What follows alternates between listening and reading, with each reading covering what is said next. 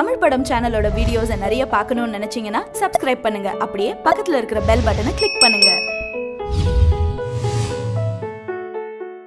Director Vikas bell இயக்கத்துல கங்கனா ரணவத் நடிப்புல வெளிவந்து எல்லாராலும் பாராட்டப்பட்ட வெற்றி அடைஞ்ச படம் தான் குயின் இந்த படத்தை தென்னிந்திய மொழிகளான தமிழ் மலையாளம் தெலுங்கு கன்னடம் ஆகிய நான்கு மொழிகள்ல ரீமேக் ஆகுது. இதுல தமிழ் மற்றும் கன்னடம் படத்தை நடிகர் ரமேஷ் அரவிந்த் இயக்குறாரு. மலையாளத்துல டைரக்டர் நீலகண்டனும் தெலுங்குல பிரசாந்த் வர்மாவும் டைரக்ட் பண்றாங்க. நான்கு மொழிகள்ல ரிலீஸ் ஆகிற குயின் படத்தோட தமிழ் பட டைட்டில் பாரிஸ் பாரிஸ்னும் காஜல் அகர்வால் லீட் ரோல்ல நடிக்கிறாங்க. கன்னடத்துல பருள் யாதவ் லீட் ரோலில் நடிக்கிற இந்த படத்துக்கு பட்டர்ஃப்ளைன்னு டைட்டில் வச்சிருக்காங்க.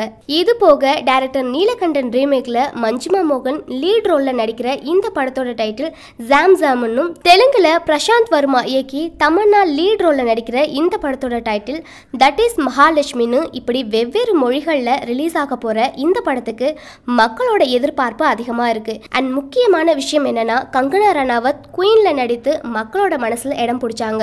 அவங்களோட நடிப்பு திறமை எல்லாராலும் பேசப்பட்டது. அது மட்டும் இல்லாம நேஷனல் அவார்ட் ஃபார் பெஸ்ட் ஆக்ட்ரஸ்க்கு வாங்கினாங்க. அவங்களுக்கு இணையா காஜல் அகர்வால் தமன்னா மஞ்சுமா மோகன் பருள் யாதவ் இப்படி இவங்கெல்லாம் வாங்குவாங்களா? அவங்களோட நடிப்பை பீட் பண்ணுவாங்களா? அப்படிங்கறத தியேட்டர்ல போய் பார்த்தா தான் தெரியும். ஸோ இது போக தென்னிந்திய திரையுலக வரலாற்றில் முதல் முறையா நான்கு மொழிகள்ல ஒரே நேரத்துல ரீமேக் செய்யப்படுவது பெருமைக்குரிய விஷயம் தான் சொல்லணும். தமிழ் படம் சேனலோட வீடியோஸை நிறைய பார்க்கணும்னு நினைச்சீங்கன்னா எங்க சேனலை லைக் பண்ணுங்க ஷேர் பண்ணுங்க சப்ஸ்கிரைப் பண்ணுங்க. அப்படியே பக்கத்துல இருக்கிற பெல் பட்டனை கிளிக் பண்ணுங்க.